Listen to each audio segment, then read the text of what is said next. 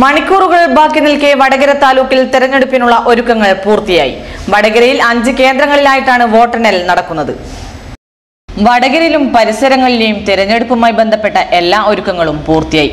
ആയിരത്തിലധികം ഉദ്യോഗസ്ഥരുടെ നേതൃത്വത്തിലാണ് ഒരുക്കങ്ങൾ നടത്തിവരുന്നത്. അഞ്ച് കേന്ദ്രങ്ങളിലായിട്ടാണ് വോട്ടെണ്ണൽ നടക്കുന്നത്. ഇലക്ട്രോണിക് വോട്ടിംഗ് മെഷീൻ വ്യാഴാഴ്ചയോടെ എല്ലാ കേന്ദ്രങ്ങളിലും എത്തിയിട്ടുണ്ട്. കഴിഞ്ഞ ദിവസം വടകര ടൗൺ ഹാളിൽ രാഷ്ട്രീയ പാർട്ടി പ്രതിനിധികളുടെ നേതൃത്വത്തിൽ ബാലറ്റ് യൂണിറ്റുകളിൽ സ്ഥാനാർത്ഥികളുടെ പേരും ചിഹ്നവും തുടങ്ങിയവ സ്ഥാപിച്ചു. ബാലറ്റ് യൂണിറ്റുകളുടെ സജ്ജീകരണവും പൂർത്തിയായിട്ടുണ്ട്. ബ്ലോക്ക് അടിസ്ഥാനത്തിലാണ് ബൂത്തുകളിലേക്കുള്ള യന്ത്രങ്ങളുടെ വിതരണവും ഉദ്യോഗസ്ഥ വിന്യാസവും വോട്ടെണ്ണലും നടക്കുന്നത്.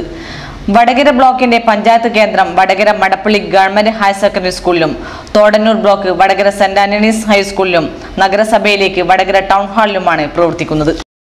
ഇടവേളയ്ക്ക് ശേഷം വാർത്തകൾ തുടരും. വിദേശ രാജ്യങ്ങളിൽ ഉൾപ്പെടെ പത്തു വർഷത്തെ സേവന പാരമ്പര്യമുള്ള അപ്പോളോ ഒപ്റ്റിക്കൽസ് വടകരയിലും പ്രവർത്തനം ആരംഭിച്ചിരിക്കുന്നു. അപ്പോളോ ഒപ്റ്റിക്കൽസ് ശ്രീമണി ബിൽഡിംഗ് പുതിയ ബസ് സ്റ്റാൻഡ് വടകര. ഇന്ത്യൻ വിദേശ നിർമ്മിതമായ ആകർഷകമായ ഫ്രെയിമുകൾ. ഡോക്ടർമാരുടെ നിർദ്ദേശപ്രകാരം എല്ലാവിധ കണ്ണടകളും ഉത്തരവാദിത്തത്തോടെ മിതമായ നിരക്കിൽ ഇവിടെ നിന്നും ലഭിക്കുന്നു. അപ്പോളോ ഒപ്റ്റിക്കൽസ് ശ്രീമണി ബിൽഡിംഗ് പുതിയ ബസ് സ്റ്റാൻഡ് വടകര. കണ്ണുകളുടെ സംരക്ഷണം ഇനി ഞങ്ങളിലൂടെ. അപ്പോളോ ഒപ്റ്റിക്കൽസ് ശ്രീമണി ബിൽഡിംഗ് പുതിയ ബസ് സ്റ്റാൻഡ് വടകര.